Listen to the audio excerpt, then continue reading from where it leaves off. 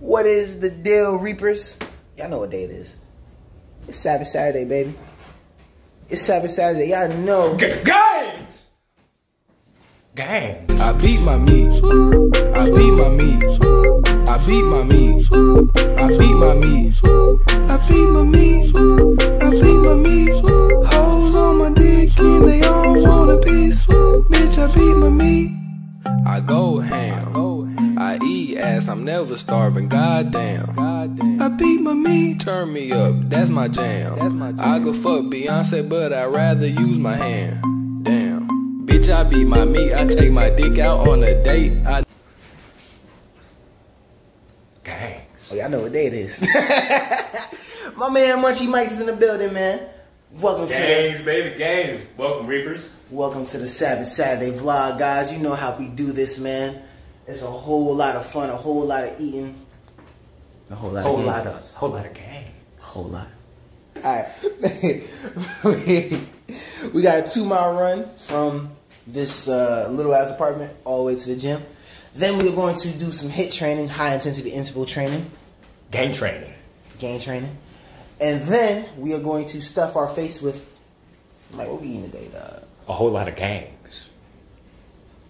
This is true.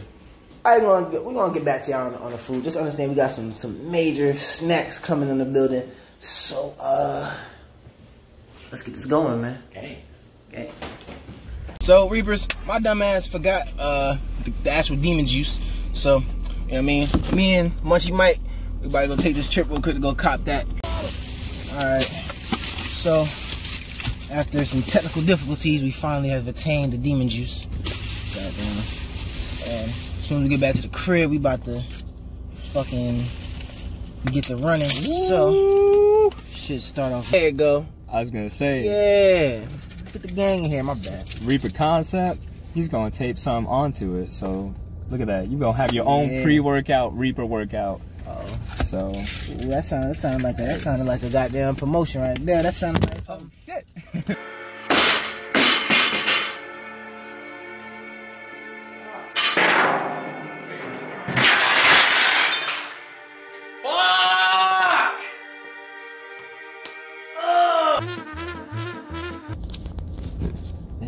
Giants, what are you doing? Yeah. Holding down for something. I fucking hate y'all Giants. God damn it. That motherfucker's been breaking my heart. Why can I just not have a good fucking fall without being suicidal? Why? Don't take that literal. Don't tell no Marine Corps people that. That's that was a joke, goddamn. I know why come to my crib. Fucking. Ooh. Oh damn, you take that to the head. I didn't know it was like that, Reapers. Damn, this shit's serious. Wait, I had I had a shaker bottle.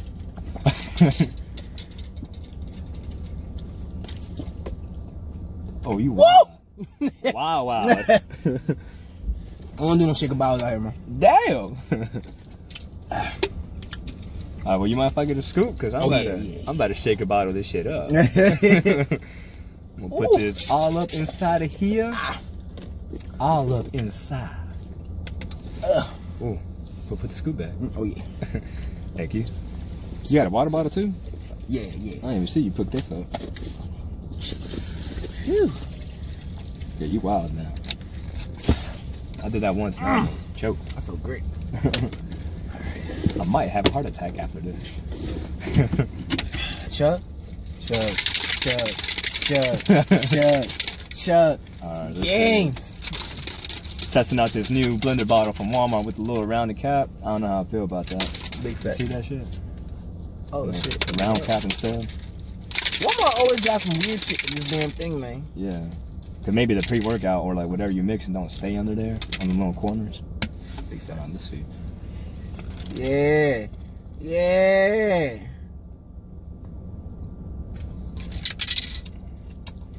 That's some, that's some, that's some, woo. Motivation right there, dog. Woo! We better get some gangs. Oh, y'all about to see a lot of a lot of carnage at this at this gym. Damn. I'm about to witness a lot of um.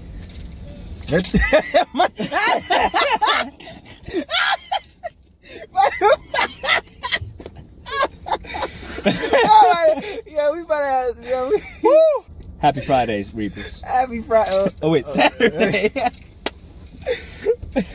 Happy Saturday. Hey, hey, nigga, get ready. We got we like. Free the gas. Gotcha, sucker, sucker. I hang with them real niggas, you hear me? I don't hang with no foo-foo ass niggas, man. Scott, that what? That what? I'm smoking on the Tuka pack, yeah, I'm happy. Got the fucking 50 in the Mac, I will wet you quick. Blood D, he a switch tees if you ain't rockin' with. Man, I say free, all the guys, they all some foofy shit. All wanna goofy with me, so don't hang with me. Got the fucking 30 on me, and it ain't hard to see. You saw me on 060 with my fucking team. Take 600 LA and see they up the fucking stage. Who the fuck is Rico? He get my dad's ego. Baby say BK, I think he fuck with JoJo. Oh fuck what the fool gay. These niggas fool. Getting robbed for they fucking say these niggas fucking lame. Call up my nigga Fatboy Chubbs, he up on everything. These rappers, they really rappers. I am just a seven, I do this, cause I do this, cause I want to. Take money, he gon' let it spray, and I just want to.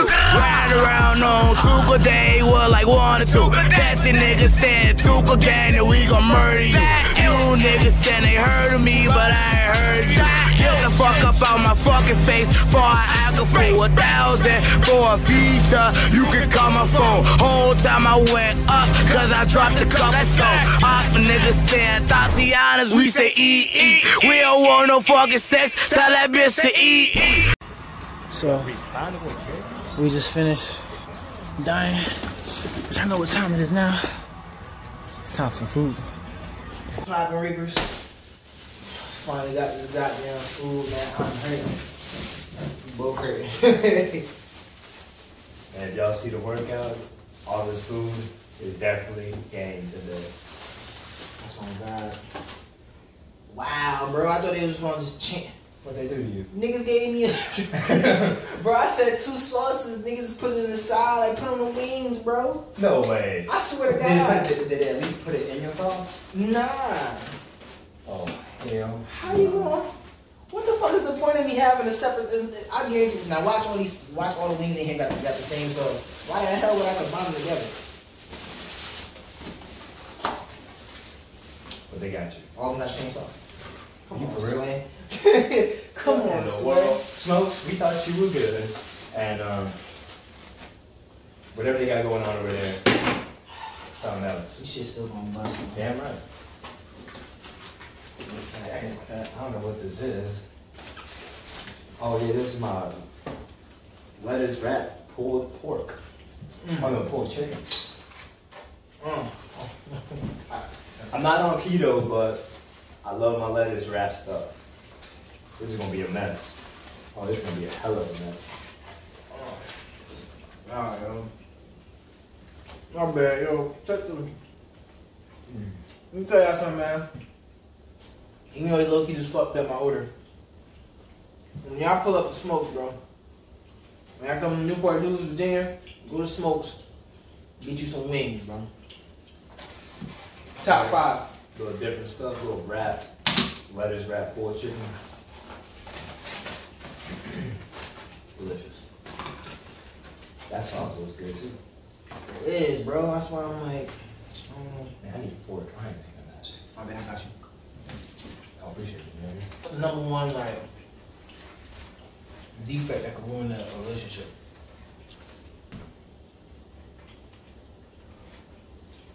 Just not being able to communicate effectively. Word. Like, um, you know, girls, they always want to be involved in the loop. You know, even if you're going to be distant for a while, you know, be like, hey, baby girl, I'm going to go do something. Uh, don't think I'm not paying attention to you. Don't think I'm not just putting you off. I just got to work on me for like a few hours, and then I'll hit you back up when I'm done. You know, and then she'll be like, oh, he's not playing games. He's actually out there working on himself, and he's letting me know. Word. So you're keeping her in the loop, and you're still, you know, doing what we do best is work on ourselves. You know what always bugged me out, yo? You'll never know that you're bad at communicating until you get in a relationship. Mm-hmm. Like no cap, I'm I suck at communicating, dogs. I'm like, I'm an introvert, so it's like I always kind of just want to sometimes be left alone. Mm-hmm. But I feel like that doesn't have to be spoken. You know what I'm saying? Especially like the only child. Like, Facts. I you got siblings? Well, unfortunately, the only sibling I had, Reapers, uh, was my brother, and uh, he passed away. So, Yeah, I didn't know. I'm sorry to hear that, G. no, that's good, brother. But it, it humbled me a lot to realize that when I do become a dad, you know, hopefully God willing, I do become a dad, Word. then, um, because I want kids and I want to be able to build a family, and it, just it lets me know that building a family is uh, something I want to do because I never had it. know, my brother or sister or somebody with me. So I am an only child. I never grew up with him, Mhm. so we always grew apart, and then you know life happened, and now we definitely apart. You know, but until we until we meet again. That's bro. It's crazy, bro, man. Like, I don't know, it's like shit like that, bro. It always like affects people differently mm-hmm. because it's like, like it's almost like you start to yearn for that connection with somebody. You know what I mm-hmm. mean? Like I, I, I like I used to get in some situations, dog. But not even with girls, like with like friends and shit like that. That was like, you know what I mean? It wasn't it. You know what I mean? But I just needed somebody to be around me Mm-hmm. because it was like I just never had that. That Like you said, brother, that connect, that family connection. exactly. You know what I'm saying? That brother love, man. It was always just me and my mom, bro. You feel me? So it wasn't really. You got enough weight if you want to. Nah, brother. Go ahead. I got a whole more thing coming. So I got 15 G. and I got some mac and cheese. You know what I'm saying? Work your magic, man. Believe me, I got a plate full. No, I had to learn that the hard way. In my past relationship, I didn't realize I was so codependent. And uh, the reason I would get into relationships was because I felt alone, and I was not okay being alone. Mm. So then I would get with girls, and then I would get, you know, everything start off smooth, and then you hit that little rough waters, and then I'll start being bad at communicating. Then I'll start thinking about, man, why aren't I focused on my own goals? Why am I focused so much on my girl, and my girl's not reciprocating that? Well, because I started getting so codependent on, on like my exes at that point, and it took me a breakup, like a few breakups, to realize that I was codependent, like you said, looking for that connection with somebody. You think you could find that same connection, like with like your goals? Like you think like if you was to take that same energy of like wanting to like have something and like use that for like say like you going to school or business or something like that, you think you could find that same type of satisfaction? Um, yes, but also it all depends because you have to you have to love yourself first before you love somebody else. And I had to love I had to like legit just every day wake up in the mirror, and I still do this. Look in the mirror and tell myself I love myself, Mm. and that allows me to love other people. Facts. You know, because um, and don't get me wrong, the goals the goals is definitely important. Without goals, as a man, we, we lose track of what our sights are. We lose track of where we, where we want to go, who we want to do it with, who we want in our lives to support us. So, I just think it's you have to you have to love yourself first. Know what you want to do in life, and then go for it. And then if somebody want, like a significant other wants to tag with you, then they're in for the ride. And it's, it's gonna be a good time. I feel like it's like hard to like like we like people talk all the time about confidence and like self love, but I feel like it's not as like where do you develop that from? You know what I'm saying? Confidence and self love. I feel like you think about it, it's like it's one thing to say it, and then you can like say that you that you love yourself and you say that you love, but you know what I mean? It's a lot of people that say it and don't truly mean it or truly feel it. You know what I'm saying? No, I feel you. So it's like I feel like that's like one thing I personally feel that like self love comes from like kind of understanding. I feel like going through hardships and things like that is where you build self love Mm-hmm. because it builds like a confidence in you Damn right. like I feel like going through like a real tough situation, coming through that, You're so confident in yourself that you can get back. Nothing can really stop you. No, that's a confidence will probably lead to that. That's that's just kind of how I felt. You know what I mean? Because a lot of people love themselves out there, dude. no, that, that's that hardship definitely brings out Unless they beat me. hardship definitely brings out the confidence in one in, one, in somebody. Um, for me, it was when I was completely alone. Mm. Like, um, I got my little crib, and my ex and I just broke up.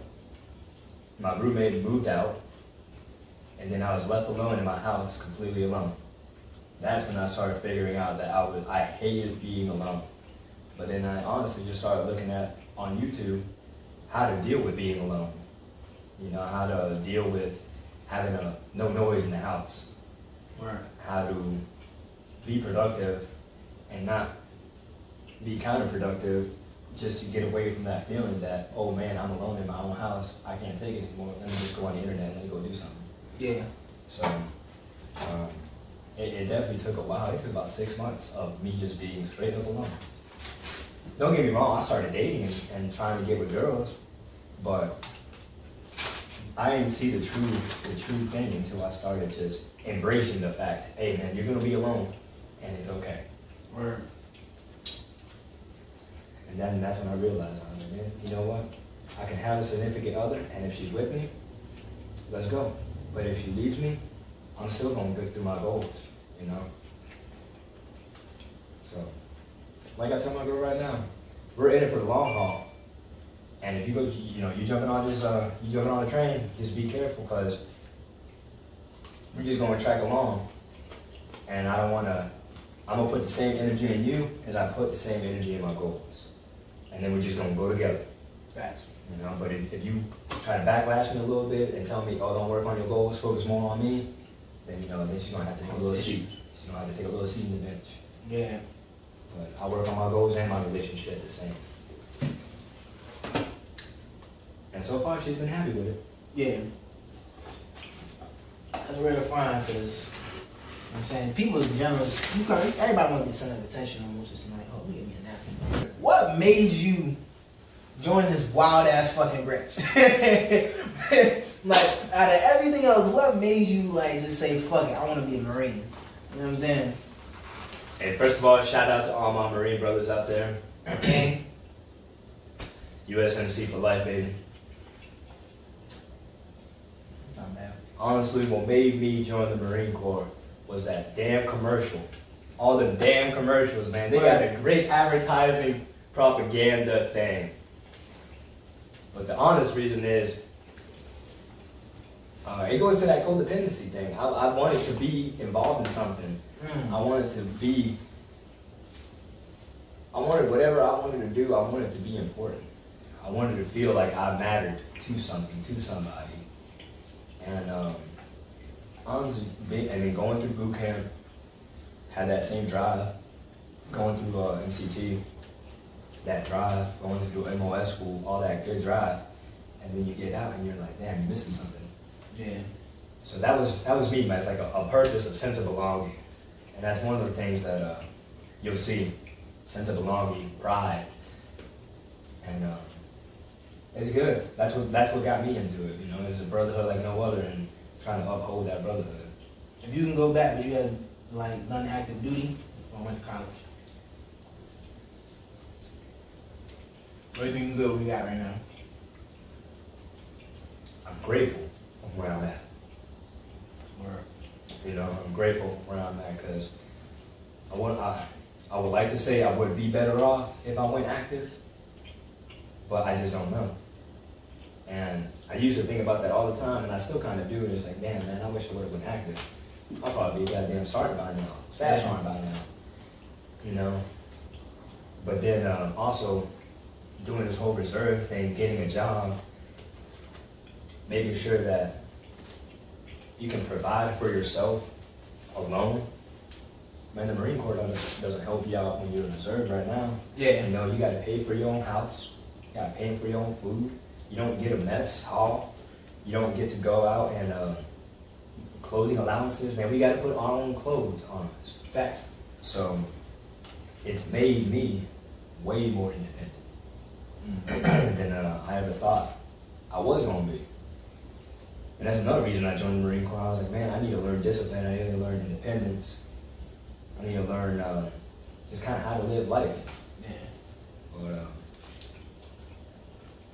so if I would have gone active, I, I would have loved to gone active and get that complete feel for you know how the active side of the Marine Corps is. But then again, I'm grateful for where I'm at now. You know what's crazy, bro? Like I was thinking about it, right? And every time somebody used to ask me that question, I was just like, you know what I mean? I just wanted the challenge, which is true. You know what I mean? Like I, I, I was like, it's just something that that's not a lot of people does, not. I just thought it'd be fun. Mm-hmm. When I look back on it, bro, I look back at who I was before I joined. I've never had really confidence. Like I used to, my, like crazy thing was my my pops when he when I saw him for the first time after some years. Mhm. Everywhere I went, I walked with my head down. I didn't like never look. I, didn't- I didn't like looking people in their face really. Mm-hmm. And like, I think I older, I got a little bit more confidence, but I never had that confidence. But I was like, I felt like me as starting to accomplish it would probably make me more confident in myself. You know what I'm saying? And like me, like trying to lose weight and things like that would probably make me more confident. And like, it did it to to an extent. I mean, I definitely you know you leave boot camp, you got some pride in you, shit like that. Damn right.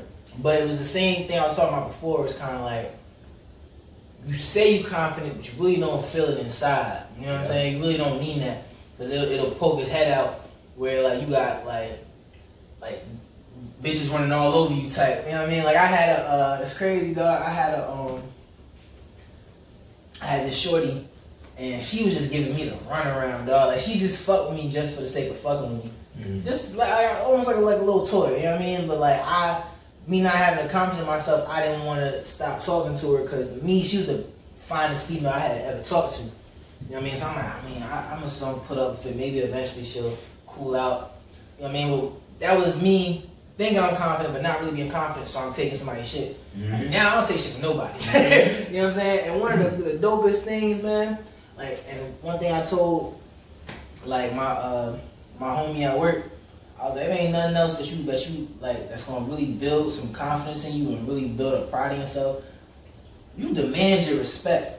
You know I mean? One thing about me, dog, I, I can't like when you start to demand your space, It's not like saying that like when your boss coming, you know, if you sitting down, he walks past three other people sitting down, he tells you to stand up. I'm not saying you punch him in the shit. don't don't sweet chin music nobody, but like, uh-huh. you know what I mean, like just like stand up for yourself. Like, hold on, bro, you, you just walk by all these people, man. Yeah. I, I don't think that's fair. And like you feel good about yourself. You stand up to a motherfucker that thinks that they can just do whatever they want to do. Walk all over you. You know what I mean? And like I like it used to be when I was younger and I, you know, had my temper and shit like that, it used to be my idea of standing up for myself was was, was fucking somebody up. Mm-hmm. When you get older and you start to be more like you start to use your mind a bit better, you start to use your words as a weapon. You're able to just, you know, instead of me snapping and hauling off and going off on you, I could just look you in your face and talk to you like an adult. Whereas right now you trying to be you trying to think that you're over top of somebody, but Yeah. now we level. You know what I Yeah. mean? Psychologically we level. Gonna bring them down. You know what I'm saying? And I think that's something that, and, and you know, the Marine Corps is dope because I feel like, you know what's crazy? There's a saying that they have for like sports, right? And it used to be like, sports don't build character, it reveals it. And I feel like the Marine Corps doesn't just reveal your character and exacerbates it and then tells you to fix it. You know what I'm saying? Like it's gonna show like whatever, you know, you lazy, if you like a real if you're like a lazy person, an unmotivated person, it's gonna show you it's gonna like put a fucking highlight on it. Now you still have the option whether or not you can change it or not, but it's it's not this where you just like it's not really just showing you it. It's giving you it's you have like an ultimatum because like otherwise you don't change some of these defects. At the end of the day, your career is not gonna you know Advance anyway. it's not gonna advance. Yeah. But the crazy thing about it though, damn, that looks good as a bitch. Want some of this? That looks good. Here, take this right You sure? I'll take a piece. I here. don't take no do, do your thing. So let's, bro. Mm-hmm. but like it, it kind of, it makes it to where it's like, yo, we gotta, you gotta change something. But then, but it really gears you up for life because if you never changed it, like you're an individual who's unmotivated about everything. If you never change that, how the fuck you gonna survive? Yeah. You gotta care about something. No, that's fact, man. You, you brought up change. If you're afraid of change, you would never level up in life. Facts. If you embrace change, oh, forget about it. Life is just gonna keep proceeding, and that's something that I had troubles with, man. I was like, damn, I can't, wait- I can't, I can't think about change. I just want everything to stay the same. Mm-hmm. Everything was getting harder, harder and harder. And then one day I was just like, hold up, let me embrace this change. Let me say that it is okay for things to not go the same way every day. And it just feels a lot better. So, You think sometimes you got force change, even when you think something's alright. Damn right, that's a fact. Because sometimes you may be doing something, you're like, all right, cool, I like it. I don't think I need to do anything. And then you get comfortable in that situation. Mm. And then you like, it's so un- unconsciously, like unconsciously you may do something that you don't even realize the fact that you are complacent. Right. And embrace that change, Reapers, because it's just only gonna make you better. Only gonna make us better.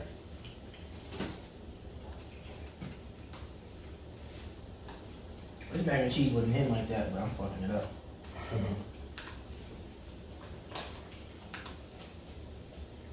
Mm. Yeah, we, we are tearing this up. Fuck it. I haven't even gotten to the burger. Oh. You like pickles, man? Man. Oh, I got a funny ass story to tell you. Wow. So one day I caught a cramp. I was just laying in bed. I caught a cramp. And my girl's watching TV with me, right? And then she, like, my whole legs, both of my legs seized up and I could not move. For the life of me, I couldn't move. So then I literally just started, I think my girl walked out at that moment.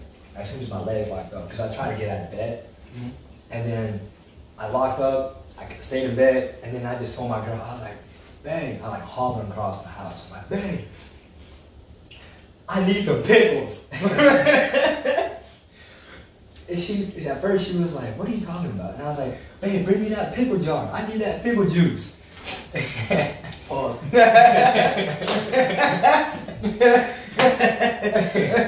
Put the pickle juice in my mouth. Man, she came in there with a jar of pickle juice, like with, with a pickle. She's like, "What the hell you need this for?" I was like, "My leg seized up. I can't move. I'm about to die." so she was like, "You just being dramatic." I was like, "No, look at my leg." And she was like, "Oh yeah, you you definitely you need some you, whatever you need. Here, here's some pickle juice." So man, I told I just down a little bit of that pickle juice, and about ten minutes later, after just me laying in bed, I was able to actually get up and stretch out the cramp. Mhm. And then, um, then from then on, I was like, yeah, pickle juice and pickles, life. Yo, no cap, bro. The worst cramping story I ever had. When I was in college, right? It's about it's about four years ago. Be four years. I was I used to play rugby for a minute, right? Mm-hmm. And we were uh, training for the season to start, and it was uh, rugby's version of like Hell Week. Oh, It was man. fucking us up, right? Bro, these motherfuckers had us doing like sprints, like like 150 meter sprints for like two hours, right? Damn. Got down, started doing uh, burpees and shit. It was fucking us up, right?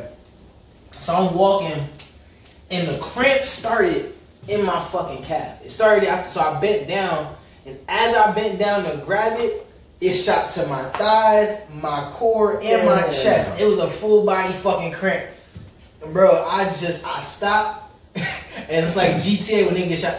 Oh! I just leaned back, and I'm like, oh my god! And it's, it's funny because like people's walking up, and like I'm kind of like, you know, you remember the episode of SpongeBob when the dude like like uh he's just like stuck in a cast, the full body cast. You know what I'm think I saying? remember. Yeah, I'm just sitting there and like people are like, don't fucking touch me. Like I'm like, bro, everything hurts so bad, and it's like, and it lasted for like maybe fits like ten minutes, Damn. and like it went away. It started it, it started to go away like each body part, and as it started going away, I started moving a little bit, but I was still kind of stuck because like the rest of my body was, bro. I got up, and everybody's like, "Oh, you good?" I'm like, "I'm fine." Nah, I'm fucking. So I'm limping, and it, it, it cramped for so long that I was sore in the places that I got cramped up. So Oh, I'm kind of like no. limping, right? And my, my big fat ass went to the uh, went to the cafeteria and fucked up a big ass uh, plate of um plate of uh, chicken tenders and fries. I ain't gonna lie. Let me tell you something, bro. Man, that sounds good. Man, are you in college, bro. If ain't nothing else that they good for, you go to that fry section. Ooh. That goddamn man, them, them, them tenders and fries, bro. Is the reason why I fucking gained thirty pounds when I was there. That shit was Damn. fucking rack. I've heard, I've heard of the freshman 15, but I ain't know about the dirty 30. man, Hmm. dirty as a bitch. Mm-mm-mm. But that was partly because I like I fucking sprained my knee in rugby, Mhm. so fuck me up. Oh, that shit was mean, dog. But man, I was hurt. Damn, that, I even got. I remember we was in boot camp. You remember the uh, the little thing we got crawling the uh, the barbed wire and shit. mhm. But I was calling none of that shit. And I, and I caught a cramp from like my chest down to my waist. So I'm sitting there with my, my face in the dirt. This motherfucker comes up, he's like, start moving. I'm like, I can't, I can't move. And so he's like, all right. He start kicking sand on me. I'm like, God damn it, bitch. I'm like, I really can't move.